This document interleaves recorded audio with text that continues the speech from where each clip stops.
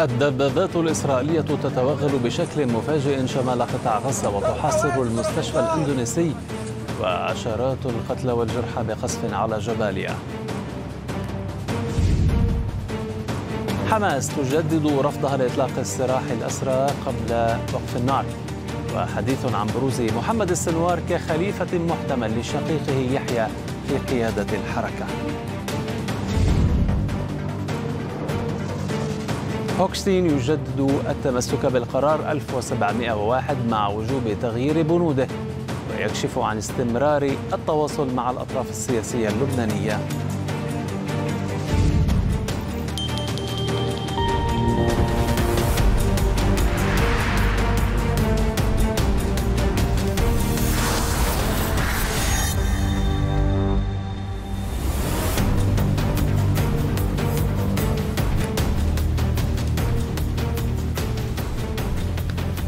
أهلا بكم من جديد في هذه التغطية المتجددة من الحدث. أفاد مراسل الحدث بأن الدبابات الإسرائيلية باتت تحصر المستشفى الإندونيسي شمال القطاع وتطلق نيرانها على مرافقيه بعد توغلها المفاجئ على كافة الاتجاهات وأيضا كافة أقسام هذه المستشفيات مما أسفر عن إصابة عدد من أفراد الكادر الطبي وهدم جزء من سور المستشفى الخارجي وأشار مراسل الحدث إلى نزوح لأعداد كبيرة من سكان القطاع مع تقدم الدبابات الإسرائيلية في الشمال في ظل انقطاع التيار الكهربائي داخل المستشفيين وأيضا في ظل دخولها لمدارس النازحين في شمال قطاع غزة. ومخيم النصارات هناك فتحت الآليات الإسرائيلية نيرانها بكثافة باتجاه المناطق الغربية من المخيم. لكم المشهد والصورة من هنا من منطقة تل الزعتر التي ما زالت تتعرض لعدد كبير جدا من الاستهدافات والغارات الحربية. هذا هو المشهد القاسي جدا الذي نتعرض له كل يوم. هنا في شمال غزة انتشار عدد كبير جدا من الإصابات أثر استهداف هذا المنزل. المكون من عدة طوابق. هذا المنزل يسكنه عدد كبير جدا من النازحين. لا زال طواقم الدفاع المدني والصحة تنتشل عدد كبير جدا من الإصابات. أثر هذه الغارة العنيفة جدا جدا جدا من تل الزعتر. وسط مخيم جباليا المحاصر. الدفاع المدني في غزة عن مقتل 33 شخصا من بينهم 20 امرأة وطفل وعن إصابة أكثر من العشرات. ذلك إثر غارة إسرائيلية استهدفت عددا من المنازل في منطقة تل الزعتر بمخيم جباليا شمال القطاع. وأضافت وزارة الصحة في غزة أن الهجوم الإسرائيلي أسفر أيضا عن تدمير عدد كبير من المنازل والمباني كما أعلن الدفاع المدني عن مقتل خمسة أشخاص في مخيم المغازي وسط القطاع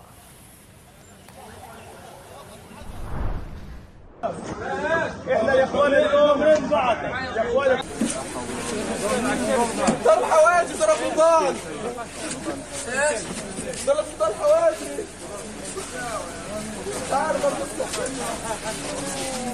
ضرب ضرب ضرب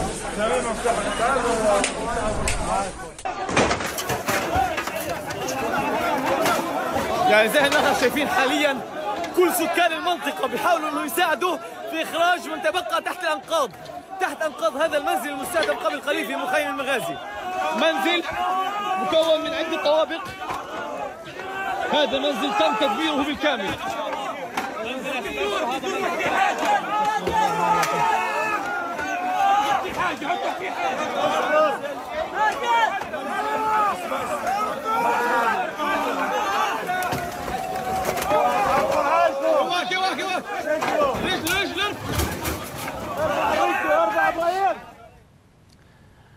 يرصد لنا خضر الزعنون مراسل الحدث من مدينة غزة الآن كل التطورات هناك. خضر يوصف هذا التطور بالأخطر ويعني الأكثر دمارا منذ شهور ماذا في التفاصيل؟ آه، فعلا يعني وفقا لمدير المستشفى الأندونيسي في بلدة بيت لاهيا شمال قطاع غزة الدكتور مروان السلطان أفادنا بأن الدبابات الإسرائيلية آه، باتت تحاصر المستشفى بشكل كامل وقامت بقطع التيار الكهربائي عنه وأن قوات الاحتلال وفقا للسلطان آه، قصفت المستشفى وخاصة الطابقين الثاني والثالث من المستشفى بقذيفتي مدفعيه هذا أيضا بعيد تدمير ما تبقى من السور الخارجي لمستشفى الاندونيسي في شمالي القطاع. أيضا يقول الدكتور سلطان إن الاحتلال يهدف إلى تدمير ما تبقى من المنظومة الصحية لإجبار السكان على الرحيل. وأيضا الاحتلال يستهدف المنظومة الصحية في القطاع بشكل ممنهج هذا أيضا في ظل وقوع إصابات في صفوف الكوادر الطبية وأيضا العاملين في داخل المستشفى بعيد إطلاق النار أيضا من قبل الجيش. الاسرائيلي صوب عدة أقسام في داخل المستشفى الإندونيسي في بيت لاهيا إلى الشمال من القطاع، أيضا الاتصال مع الطواقم الطبية حاليا في هذه اللحظات بات مقطوعا ولا نعلم اي عن الأخبار التي يعني لديهم خاصة مع انقطاع الاتصال المباشر في هذه اللحظات، هذا يأتي أيضا في ظل استهدافات متتالية أيضا لمخيم جباليا وبلدة جباليا في المناطق الشمالية من قطاع غزة حيث استهدف الطيران الحربي الإسرائيلي وأيضا مدفعيه الجيش الإسرائيلي مربع سكني كامل في وسط مخيم جبالي، هذا المربع الذي يضم منازل لعوائل الحواجري والنصار وأبو العيش. أدى ذلك إلى سقوط على الأقل 33 ضحية وأكثر من 70 أيضا من الجرحى والمصابين. غالبيتهم من النساء والأطفال والذين تم نقل غالبيتهم إلى مستشفيي العودة وكمال عدوان في في جباليا شمال القطاع. مستشفى العودة أيضا تعرض الطابقين العلويين منه إلى أيضا قصف من قبل مدفعية الجيش الإسرائيلي وأفدنا أيضا بوقوع إصابات في صفوف الكوادر الطبية. محافظة شمال قطاع غزة تتعرض منذ ساعات الليلة الماضية وحتى الآن إلى عمليات قصف من قبل الطيران الحربي الإسرائيلي وأيضا من قبل مدفعية الجيش الإسرائيلي. بتنا نستمع بشكل واضح إلى أصوات هذه الانفجارات الناجمة عن القصف الإسرائيلي من هنا من مدينة مدينه غزه بأحيائها المختلفة، أيضا في بقية المناطق حسام هناك عمليات نعم. استهداف متتالية من قبل الجيش الإسرائيلي، كان اعنافها استهداف منزل في مخيم المغازي، هذا المنزل يعود لعائلة شناعة، أدى إلى سقوط ستة من الضحايا ونحو سبعة من المصابين والذين تم نقلهم إلى مستشفى شهداء الأقصى في مدينة دير البلح المجاورة. كل الشكر لك دائما خضر. نحن سنتابع وإياك دائما كل هذه التطورات. والتحديثات كان معي من مدينة غزة مراسل الحدث خضر الزعنون. نعت المنظمة منظمة التحرير الفلسطينية. نعت السنوار وصفة إياه بالقائد الوطني الكبير. من جانبها جددت حركة حماس لرفضها لمطلب إطلاق سراح الرهائن قبل وقف الحرب. وأكد عضو المكتب السياسي للحركة خليل الحي أن حماس ماضية في نهجها حتى بعد اغتيال قائدها يحيى السنوار. ننعى القائد الكبير الأخ المجاهد الشهيد يحيى السنوار أبو إبراهيم رئيس المكتب السياسي لحركة المقاومة الإسلامية حماس. إن هؤلاء الأسرى لن يعودوا لكم إلا بوقف العدوان على شعبنا في غزة والانسحاب الكامل منها وخروج أسرانا الأبطال من سجون الاحتلال. وإننا ماضون في نهج حماس. حدد الجيش الإسرائيلي هدفا جديدا بعد مقتل يحيى السنوار قائد حماس وهو شقيقه محمد السنوار أحد الذين شاركوا في اختطاف الجندي الإسرائيلي جلعاد شليط عام 2006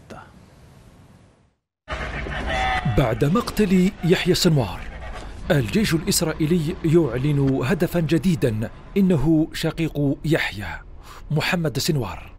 صحيفة تايمز اوف إسرائيل أفادت بأن شقيق يحيى سنوار على قائمة الاستهداف رفقة القادة العسكريين الآخرين لحماس. وسائل إعلام إسرائيلية وصفت محمد السنوار بأنه شخصية ذات دهاء وأكثر وحشية. شقيق يحيى سنوار حسب عدة تقارير إسرائيلية هو قائد لواء خان يونس في كتائب قسام وكان أحد خاطفي الجند الإسرائيلي جلعاد شليط كما أنه أحد مهندسي أنفاق غزة وكان له دور في تنفيذ شبكة الأنفاق هذه تحت الأرض.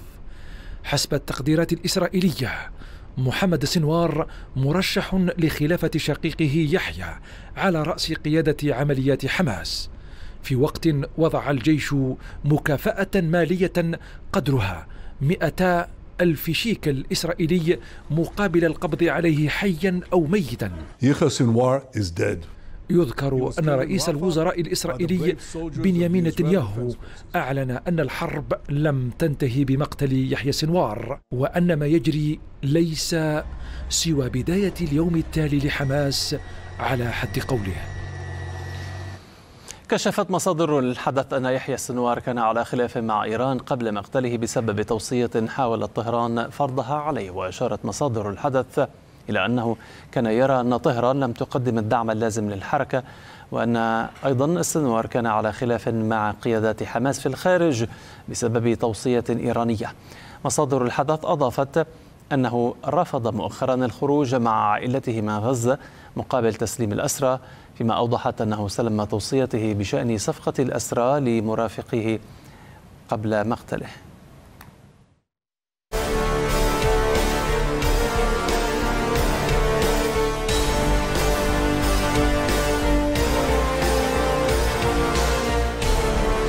ليس في نفق بل مجندلا تحت نجوم السماء. قضى السنوار نحبه وتنحى تاركا وراءه ركاما على مد البصر. هذا هو اسمه قالت إسرائيل غداة السابع من أكتوبر ونثرت أطنانا من المنشورات تحمل صورة يحيى السنوار. إنه المسؤول عن قرار الهجوم.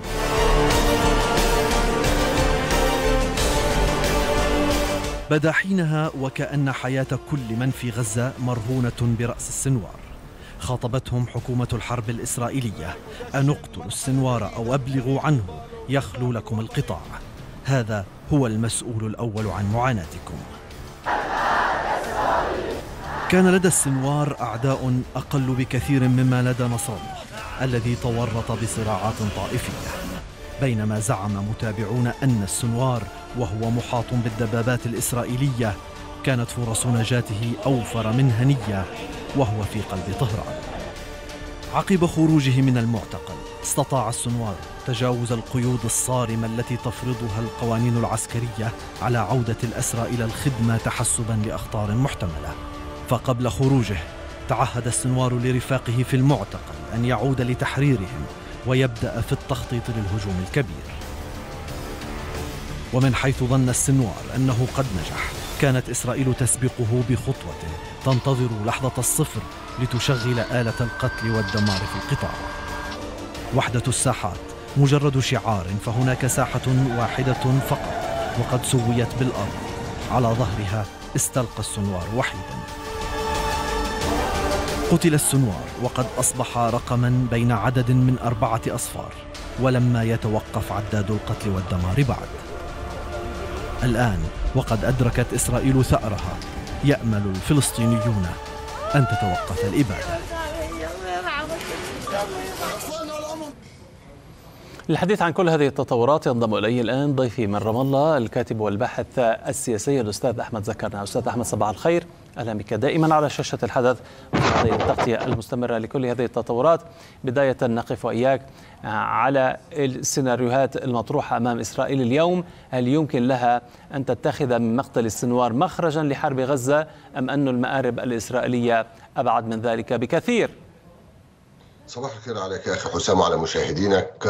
بات من الواضح تماما بأن الأهداف الإسرائيلية أبعد من ذلك بكثير. هذا قاله نتنياهو بشكل واضح وصريح بأن الحرب مستمرة. وبعيدا عن كل التصريحات التي نرى فيها التناقض الكبير تحديدا على المستوى الجبهة الإسرائيلية والجبهة الأمريكية العقبة الواضحة والتي لم يعد يختلف عليها اثنين اليوم هو شخص نتنياهو.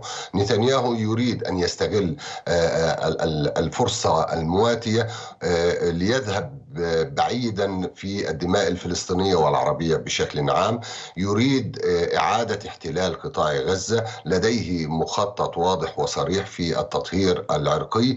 ونتذكر هنا خطة بايدن التي يعني ذهب بها إلى مجلس الأمن وأتى بالقرار 2735 هذه الخطة التي قال بايدن أنها خطة إسرائيلية بعد ساعات ساعات قليلة يعني خرج نتنياهو ليضع شروط على الشروط التي وضعها وقلل من شأن بايدن وهو الأمر الذي يعني أظهر الإدارة الأمريكية وكأنها بهذا الضعف أمام الحكومة المتطرفة. غير أن هذه الحكومة وما تريد فعله والدفع به هو إعادة استيطان في قطاع غزة. وهذا يعني بأن المشروع هو مشروع تهجير كلي لقطاع غزة وإن كان الهدف الأولي والأساسي المعمول عليه الآن ومنذ يوم منذ أسبوع أو عشرة أيام وهو احتلال كامل شمال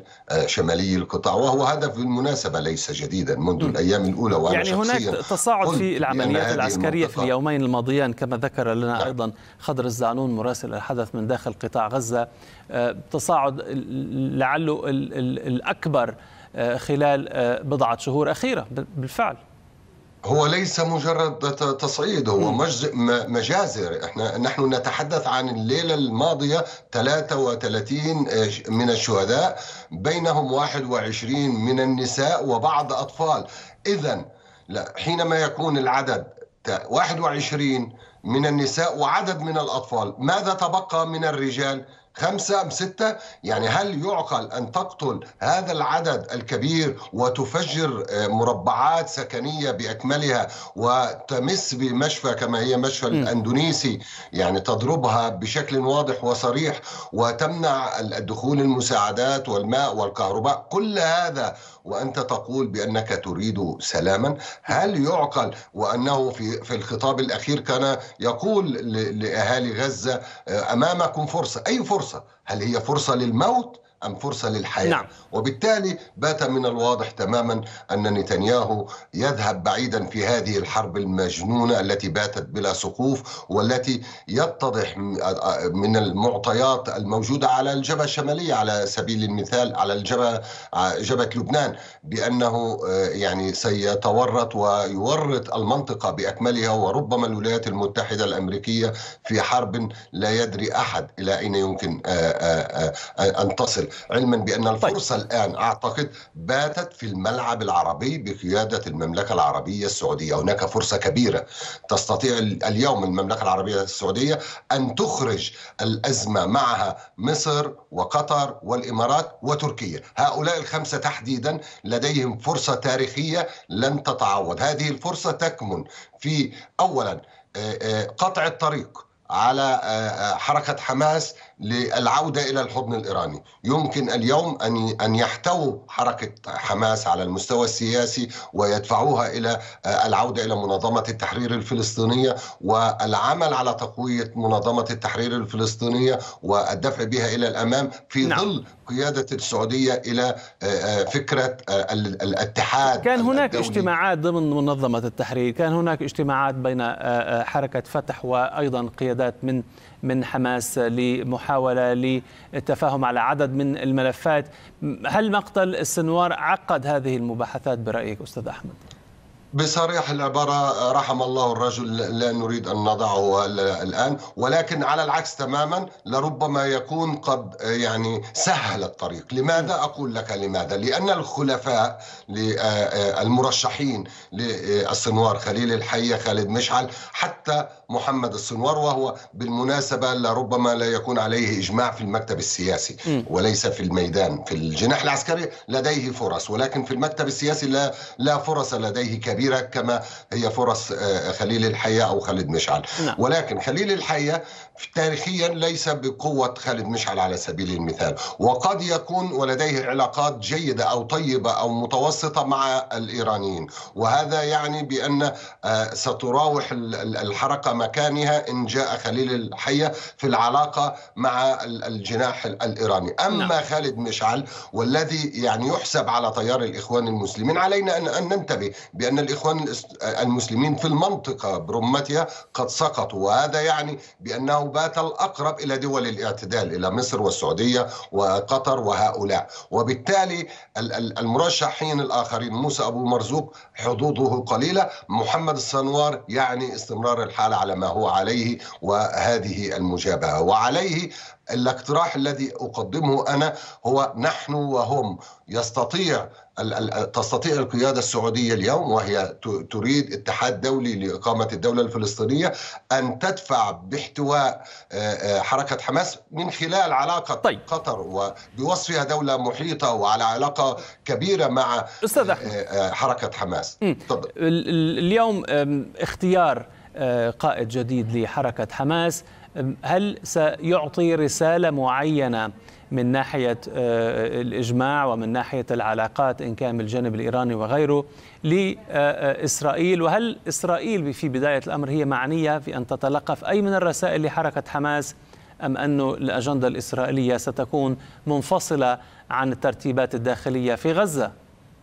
هذا سؤال في غاية الأهمية وأشكرك عليك أستاذ حسام. هذا سيعري الموقف ال ال ال الإسرائيلي وسيضع الموقف الأمريكي في مأزق خاصة بأن لدى الإدارة الأمريكية الحالية ضغوط هائلة أيضا من الداخل سواء من اللوبي الصهيوني أو من الداعمين للقضية الفلسطينية أو من الأوروبيين. وبالتالي سيضعون أو سيحشرون شخص نتنياهو وحلفائه في الولايات المتحدة في منطقة ضيقة لا يمكن الخروج منها وهو المعيار الذي سيقول إما أن تبقى حركة حماس على ما هي عليه في المحور الإيراني علما بأن المحور الإيراني هو نف... إيران نفسها طهران نفسها بدأت في التراجع خطوات إلى الخلف هي صحيح. ترسل وزير خارجيتها اليوم إلى كامل الإقليم كي تخفف من ردة الفعل الإسرائيلية وتضغط على حزب الله وعلى الملف اللبناني كي يقبل بالقرار 1701 وهو القرار كان المرفوض من حزب الله. وهذا يعني بأن الخلاف ال ال ال الذي كان لم يعد قائما غير أن ما جاء في تقريركم قبل قليل بمحاولة الضغط على السنوار قبل استشهاده لاتخاذ بعض المواقف يوضح تماما بأن الأهداف الإيرانية وهي تتقاطع بالمناسبة مع الإسرائيلية لم ت... لم تكن في صالح القضية الفلسطينية أو في صالح الشعب الفلسطيني نعم. إن لم تدرك ذلك حركة حماس في هذه اللحظة الحرجة هي تقف على مفترق طريق وتعلم أن موقفها على المستوى الداخلي لم يعد جيدا وأيضا علاقتها في الإقليم لم تعد كما كانت واستمعنا جميعا إلى توتر العلاقات مع الدوحة قبل أشهر قليلة وكذلك مع إسطنبول مع تركيا وبالتالي على حركة حماس وعلى المجموعة العربية أن تساعدها اليوم وتساعد منظمة التحرير الفلسطينية للعودة ولإعادة الاعتبار نعم. للمنظمة ولحل الدولتين ولحل المسار السياسي بهذا الشكل وبهذا الضغط يمكن أن تغلق المجموعة العربية الطريق على نتنياهو. ولماذا اخترنا وقلنا نعم. قطر والسعودية والإمارات ومصر وتركيا؟ لأن هؤلاء اللاعبين في المنطقة هم الأكثر تأثيرا على المستوى السياسي والعسكري والاستراتيجي في المنطقة ولكل منهم علاقات بجميع الأطراف سواء الإسرائيلي أو الفلسطيني. كان معي من رام الله الضيفي من هناك الكاتب والباحث السياسي الأستاذ أحمد زكرنا. شكرا جزيلا لك. مرة جديدة.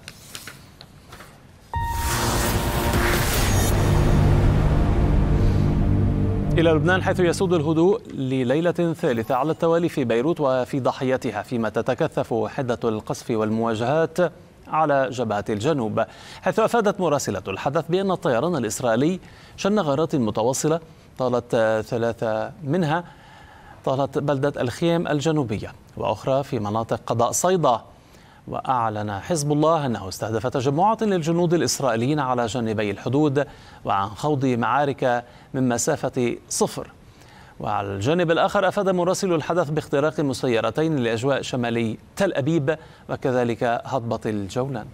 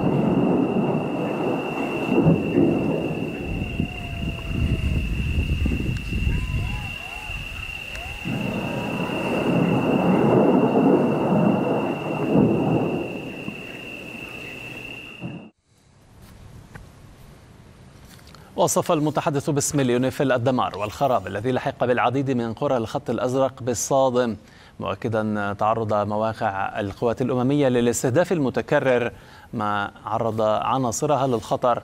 لكنه أكد في الوقت ذاته أن البعثه لن تخضع للأوامر الإسرائيلية بالانسحاب. إن الدمار الذي لحق بالعديد من القرى على طول الخط الأزرق وحتى خارجه أمر صادم.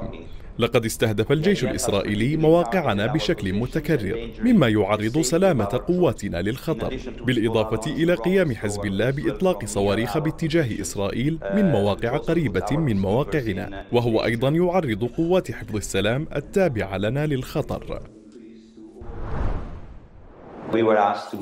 لقد طلب منا التحرك من بعض المواقع على طول الخط الأزرق. لدينا حوالي 29 موقعا قريبا جدا من الخط الأزرق بما يصل إلى خمسة كيلومترات. قررنا عدم القيام بذلك.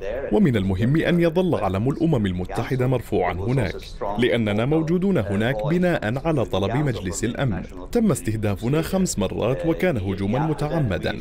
وأصيب اثنان من جنودنا في أحد الأبراج كما أصيب موقعان آخران بالقرب من الخط الأزرق. أبدى عدد من السياسيين اللبنانيين دعمهم لموقف رئيس حكومة تصريف الأعمال نجيب ميقاتي والذي ندد بالعرض الذي قدمه رئيس البرلمان الإيراني إلى فرنسا للتفاوض على تطبيق القرار 1701 في لبنان. وأشاد رئيس القوات اللبنانية سمير جعجع بكلام ميقات الذي وصف العرض الإيراني لفرنسا بالتدخل الفاضح ومحاولة تكريس الوصايا المرفوضة واعتبر أن ما أدلى به يعتبر ويعبر عن وجهة نظر كل اللبنانيين ويشير إلى أن الدولة اللبنانية بدأت تتحمل مسؤولياتها. باحة خلفية اعتادت إيران المرور فيها واللعب كما أرادت غير أن التدخل الأخير لرئيس برلمانها محمد باقر قلباف بشؤون لبنان وصف بالفاضح والمتجاوز لأي خطوط حمر مرسومة. حين وضع نفسه بموقع المفاوض المباشر عن لبنان مع فرنسا فيما يخص تطبيق القرار 1701 فراغ سياسي مزمن في لبنان لم يبرر للمسؤول الإيراني انتزاع الصفة ليخرج رئيس حكومة تصريف الأعمال نجيب ميقاتي عن صمته مستغربا التصريحات الإيرانية ووصف التدخل بمحاولة لتكريس وصاية مرفوضة. ميقاتي طلب من وزير خارجيته كذلك استدعاء القائم بأعمال السفارة الإيرانية في بيروت للاستفسار أولا حول التصريحات ولإبلاغه ثانيا بالموقف اللبناني في هذا الصدد. رئيس حكومة تصريف الأعمال أكد انفراد الدولة اللبنانية بموضوع التفاوض بشأن تطبيق القرار الأممي مطالبا جميع أصدقاء لبنان بدعمه في هذا التوجه والضغط على إسرائيل لوقف النار عوضا عن السعي لفرض وصاية جديدة وفق تعبيره. موضوع التفاوض لتطبيق القرار الدولي رقم 1701 تتولاه الدولة اللبنانية. الحكومة اللبنانية كانت قد أبدت استعدادها لتطبيق القرار 1701 وإرسال الجيش إلى جنوب الليطاني فور وقف إطلاق النار. هذا القرار صدر عن مجلس الأمن في أغسطس 2006 بهدف إنهاء حرب الأربعة والثلاثين يوما بين إسرائيل وحزب الله. أبرز بنوده وقف فوري للأعمال القتالية انسحاب القوات الإسرائيلية ونشر اليونيفيل والدولة اللبنانية لقوتهما في مناطق الجنوب اللبناني. تحدث المبعوث الأمريكي للبنان أموس هوكستين خلال مقابلة تلفزيونية عن ضرورة تعديل قرار مجلس الأمن رقم 1701 الذي اعتبر أنه ركيزه لضمان الأمن على الخط الأزرق. وشدد على ضرورة مغادرة القوات الإسرائيلية لاراضي لبنان في أسرع وقت مشيرا إلى أنه على تواصل مع القادة السياسيين اللبنانيين لوضع آلية لوقف الحرب. وشدد المبعوث الأمريكي على أن الوقت قد حان لملء الفراغ الرئاسي محملا رئيس البرلمان نبيه بري مسؤولية العمل على ذلك. الحديث عن هذا الموضوع ينضم إلي الآن ضيفي من بيروت مدير مركز الشرق الأوسط للأبحاث والدراسات الاستراتيجية الدكتور إلي الياس دكتور إلي صباح الخير. أهلا بك دائما على شاشة الحدث وفي التغطية المستمرة لكل هذه التطورات. بداية نقف وإياك على الزيارات السابقة خلال فترة عام كامل للمبعوث الأمريكي والذي حث فيها المسؤولين اللبنانيين ولا سيما أيضا حزب الله على ضرورة تطبيق ال 1701 وأيضا الانسحاب لكل الميليشيات وتسليم السلاح. اليوم ومع مرور الوقت وعدم الاستماع للنصائح المبعوث الأمريكي دخل لبنان على ما يبدو بنفق مظلم وأيضا خسر العديد من الجنوبيين منازلهم. إن قام مرة جديدة المبعوث الأمريكي بإصدار التحذيرات بضرورة الالتزام بتعديل 1701 برأيك هل سيكون له أذان صاغية في لبنان أم, أم سيتكرر مرة جديدة التاريخ في لبنان؟ صباح النور. طبعا ما أدلى به المبعوث الأمريكي البارحة في المقابلة إذا اردنا أن نضعه في إطاره الشكلي يعني ليس هذا كما يقولون يعني رسالة رسمية من الحكومة الأمريكية ولكن تمنيات مبنية على خبرته طوال هذه السنوات التي كان يقوم بالمفاوضات ومحاولة إيجاد حلول لبعض المشاكل العالقة بين الحكومة اللبنانية أو الدولة اللبنانية والدولة الإسرائيلية. ولكن أموس هاكشتين في تصريح البارحة يدعونا إلى التفكير وطرح سؤال في المقابل إذا هذه الحكومة وهذه السلطة التي خلال سنة كاملة منذ بداية الحرب في غزة وبداية حرب الإسناد في الجنوب في اليوم التالي لبداية الحرب في غزة لم تستطع أن تفرض على حزب الله أي قرار أو أقله طلب أن يحترم القرار الدولية وخصنا القرار 1701 ولا يقوم بإطلاق صواريخ من جنوب لبنان على إسرائيل لكي يحمي اللبنانيين ويحمي الأرض اللبنانية والشعب اللبناني. لا لا أعتقد أن في هذه اللحظة يعني حيث أن كل الضمانات الدولية سقطت ليس هناك فعلا من أي محاولة جدية إقليمية أو دولية للوصول إلى وقف إطلاق النار بين لبنان وإسرائيل، دعني اكون دقيق أكثر بين حزب الله وإسرائيل. وبالتالي لا أعتقد أن ضغط اموس هاكشتاين يرجو منه أي محاولة عملية على الأرض والا يحاول أن يوصل رسالة ليقول أن الطبقة السياسية الحاكمة اليوم في لبنان إن كانت تتمثل في رئيس الوزراء نجيب ميقاتي أو رئيس مجلس النواب نبيه بري لا يستطيعون تحمل مسؤولية المرحلة المقبلة. وعندما يقول أن هذا هذا القرار الدولي يحتاج إلى تعديل هنا ندخل في إطار مختلف وفي مسار مختلف. لا يستطيع لبنان وحده أن يعدل أي شيء في قرار دولي هذا بحاجة ما التعديل المقترح برأيك؟ يعني ما الخيارات أمام تعديله؟ وهل وضعه تحت الفصل السابع أمر ممكن برأيك؟ تماما تماما. هذا هو الذي يخشاه الأكثر حزب الله ومن خلفه إيران. حتى منذ العام 2006 بعد إيقاف الأعمال العسكرية بين إسرائيل وحزب الله بعد حرب تموز في 2006 كان النقاش فعلا جدي عند القوى اللبنانية المختلفة أنه لماذا لم يعني يدخل تنفيذ القرار 1701 تحت البند السابع وكل الأجوبة كانت أن حزب الله لم يكن مستعد أن يعلن إيقاف الحرب. إذا كان القرار سوف يطبق تحت البند السابع. وحاولت حكومة السنيورة آنذاك أن تجد إخراج ما أن هذا القرار هو تحت البند السادس وزائد نصف كما يقولون يعني على الطريقة اللبنانية للأسف. وانتهينا كما انتهينا في دمار لبنان عام 2024 في دمار بيروت في تهجير أكثر من مليون ونصف لبناني حوالي ألفي قتيل حتى هذه اللحظة. يعني لم تكن كما كما يقولون ناجحة هذه الخطة. أما الآن في حديث أمس نستطيع أن نقول أن التعديل المطلوب هو الفصل السابع وهذا يعني تخلي حزب الله عن مطلبه بإبقاء ترسانته العسكرية. وهنا لأنه سيصبح بمواجهة ليس فقط إسرائيل. إسرائيل افترضنا أن هناك تطبيق لهذا القرار تحت الفصل السابع. نعم. سوف لن تكون هي بالمواجهة.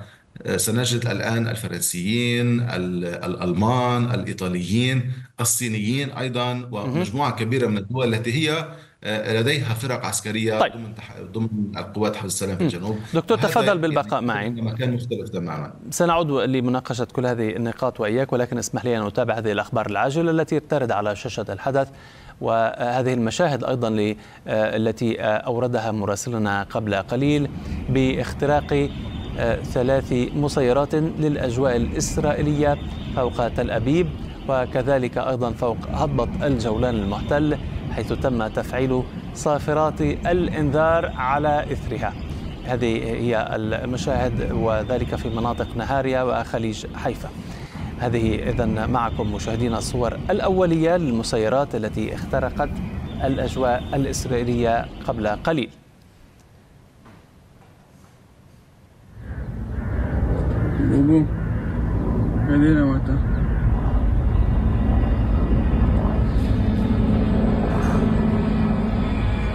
Oh, fuck. Venir, venir a that.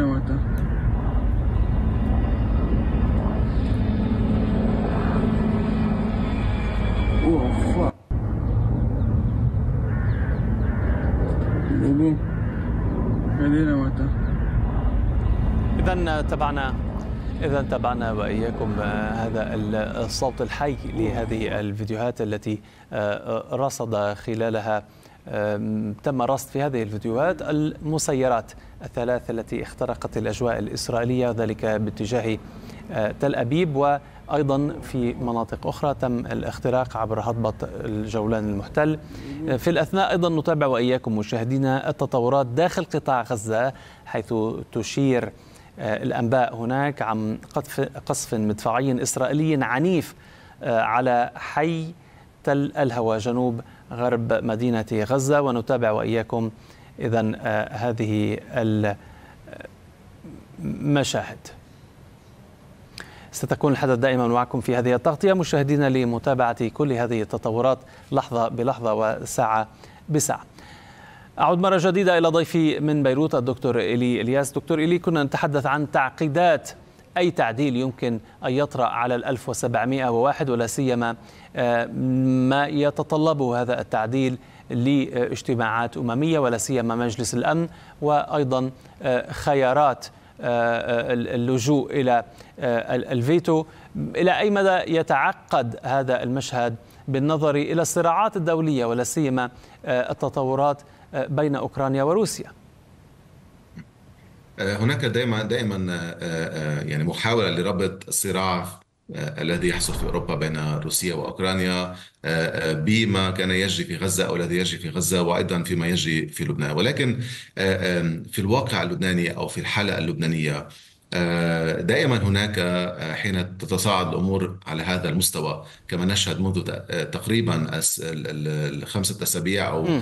الأسابيع الستة هناك دائما نجد تعاطف إلى حد كبير في ضرورة إخراج الساحة اللبنانية من هذا الصراع م. لعدة أسباب منها علاقات لبنانية التاريخية منها دور لبنان التاريخي دور فرنسا المصالح المتعاقدة والمتشابكة في هذه المنطقة. دور الأمريكيين دائما في هذا المسار يكون بالحد الأدنى إيجابي جدا في محاولة لحماية لبنان.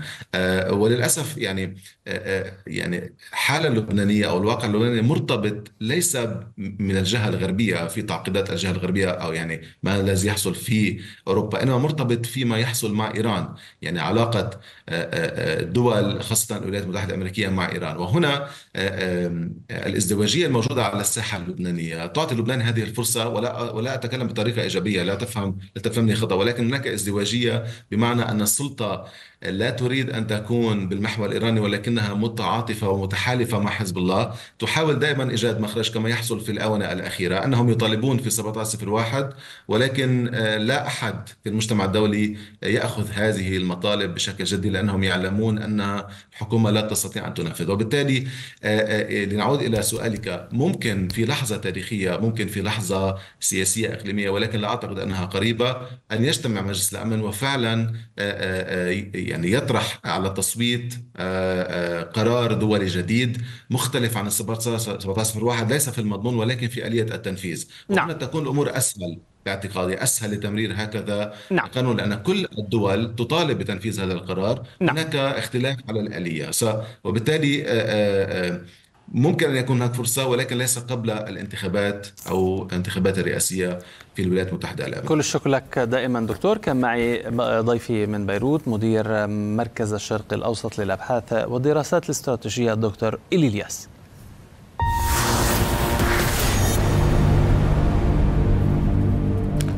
أعلن الجيش الإسرائيلي أنه سينشر مزيدا من الجنود على الجبهة اللبنانية كاشفا عن استدعاء لواء احتياطي جديد وفقا لتقييم الوضع. وبحسب الجيش فإن هذه الخطوة تأتي لتسريع إعادة سكان الشمال إلى منازلهم فيما أصدر الجيش الإسرائيلي إخطارا جديدا بالإخلاء لسكان 23 قرية على بعد 30 كيلومترا من الحدود جنوب لبنان وطلب منهم التوجه نحو شمال نهر الأول.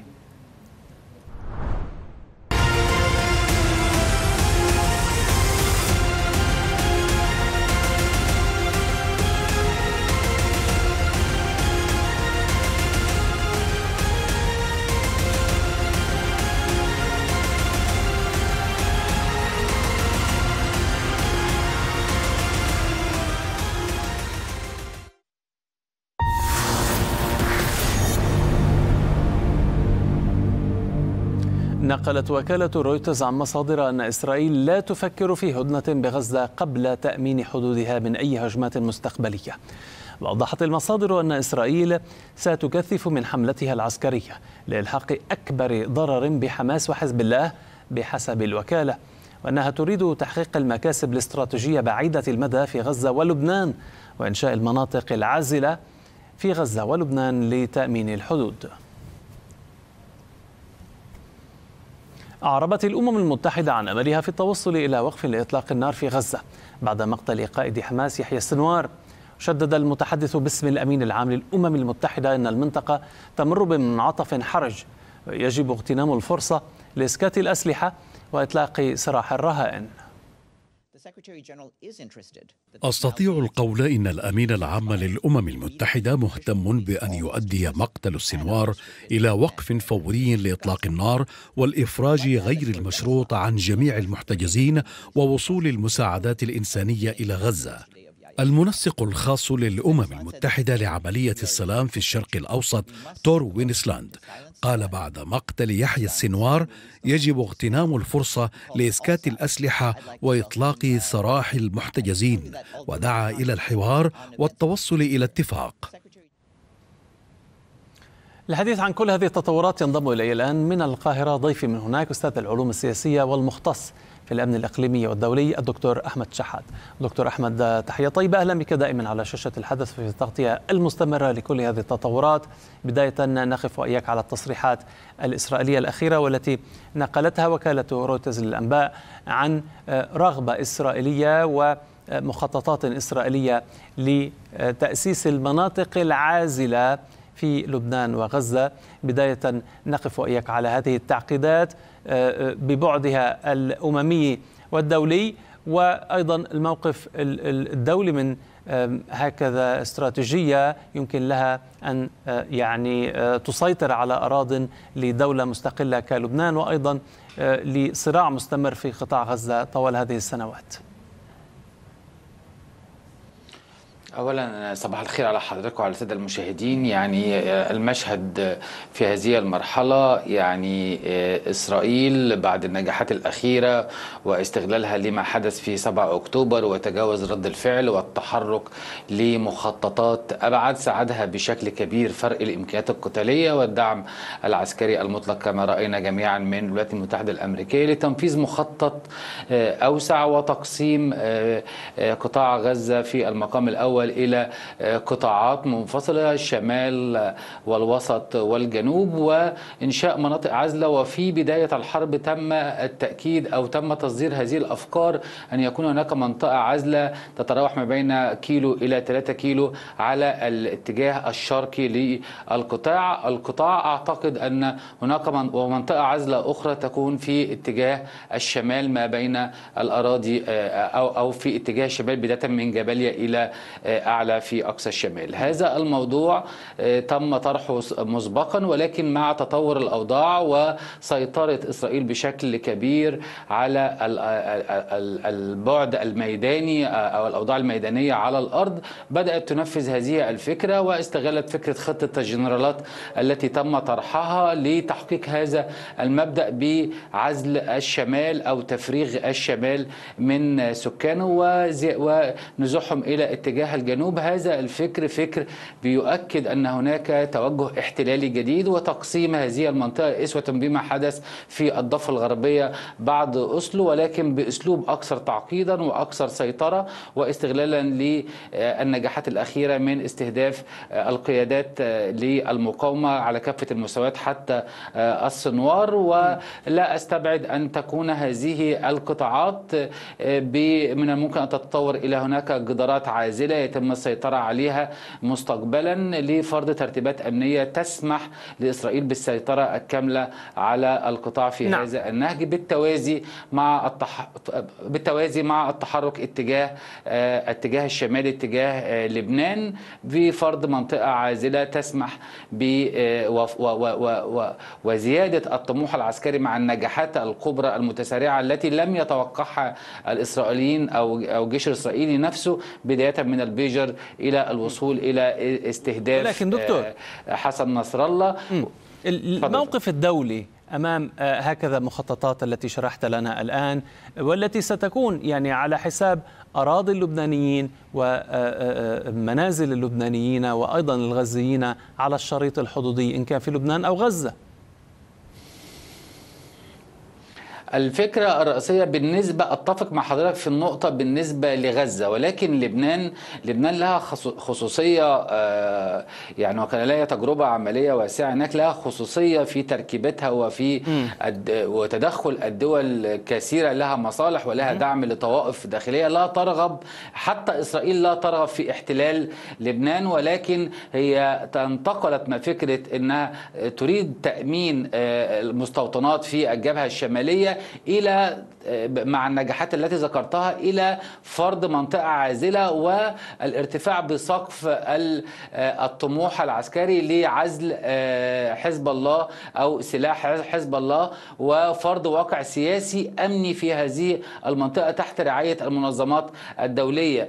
فهذا الموضوع ليس هناك رغبة لاحتلال لبنان ولكن في نهاية الحرب أو نهاية المخططات الإسرائيلية تريد أن تضمن كل أعدائها المباشرين سواء حماس تنتهي أو لا تنتهي على الأقل فكرة تكسير العظام أو استعادة قوتها مرة أخرى تحتاج لسنوات فهذا يؤمن إسرائيل لسنوات طويلة. في نفس الوقت اتجاه حزب الله تؤمن أيضا الخطر في واستغلال الأجواء الانتخابية الأمريكية. من الممكن أن توجه ضربة مباشرة لإيران كأحد أهم أعدائها في المنطقة هي وأذرعها فهي تستغل الموقف وتريد أو أو أو ترى في قناعة كاملة أن هذه هي الأجواء التصعيدية المثالية لتنفيذ مخطط التخلص من هذه الأعداء المباشرة. وفرض ترتيبات أمنية جديدة تثبت بها الحالة الاحتلالية وتؤمن بها أي مخاطر من يعني تتعرض لها. وتضمن في هذا الإطار دعم الولايات المتحدة الأمريكية سواء الإدارة الحالية أو الإدارة المستقبلية. طيب نحاول بحث إذا السيناريو في لبنان على سبيل المثال بعض الترجيحات يعني تشير إلى إمكانية تعديل القرار 1701 برأيك هل يمكن يعني تعديل هذا القرار نحو وضعه تحت الفصل السابع أم أن الترتيبات الدولية لا تسمح بذلك حتى الآن؟ أعتقد أن يعني من الممكن أن يحدث ولكن ليس في القريب العاجل وستكون إسرائيل جزء من تنفيذ هذا المخطط بشكل غير معلن. بمعنى عند نجاح إسرائيل في يعني إضعاف حزب الله وتكسير وهدم بنيته التحتية وفرض واقع له بعدم قدرته على الاستيقاظ أو إعادة التوازن مرة أخرى. من هنا ممكن الولايات المتحدة الأمريكية تعرض تعرض هذا الموقف وليس إسرائيل تعرض الموقف على مجلس الأمن لتعديل 1701 خاصة بعد انتهاء الحرب في هذه المنطقة الشمالية أو في جنوب لبنان. هناك سيكون جلوس على طاولة المفاوضات. وفرض واقع جديد. هنا أعتقد من الممكن أن يتم الطرح أن هذه المنطقة الحدودية وبما يخص نعم. حزب الله تضع تحت بند السابع. من خلال أن هذا هي كثيرا من الدول تعتبرها جماعة إرهابية وممكن استهدافها من خلال تحالفات دولية وخلافه سيقف العائق الوحيد هو روسيا والصين في هذا المشهد من تمرير هذا التحرك أو هذا نعم. التوجه في حينه يعني. كل الشكر لك دائما دكتور على كل هذه المعلومات والإيضاحات كان معي من القاهرة أستاذ العلوم السياسية والمختص في الأمن الإقليمي والدولي الدكتور أحمد الشحات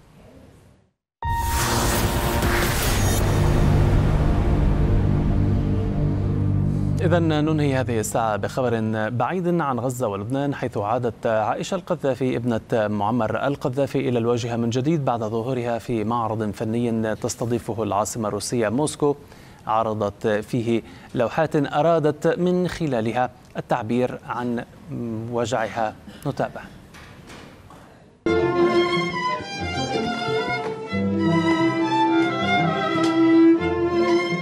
لوحات ليس لها عنوان أو وصف. يستطيع المرء قراءتها وفقا لإحساسه الداخلي. بهذه الخطوط العريضة وصفت عائشة معمر القذافي مجموعة لوحاتها ضمن معرضها الأول في العاصمة الروسية والذي يحمل عنوانا ابنة ليبيا.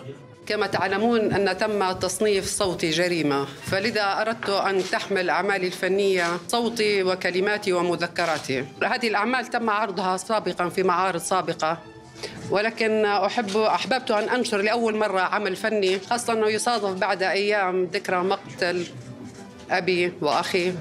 أنشر هذا العمل الفني لأول مرة في معرضي في موسكو لكي أبين هذه الجريمة وأوثقها بعملي الفني القائمون وزوار المكان لاحظوا أن اللوحات المشبعة بروح الثقافة العربية تعكس واقع الحياة الحديثة.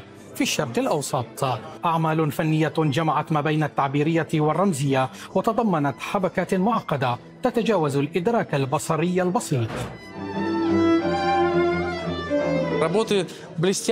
الأعمال رائعة وتثير في النفس الأحاسيس بحيث توجد لوحات فنية وغير فنية ويمكن تمييزها عبر الأحاسيس التي تثيرها في داخلك وعندما يحدث ذلك فهذا فن حقيقي.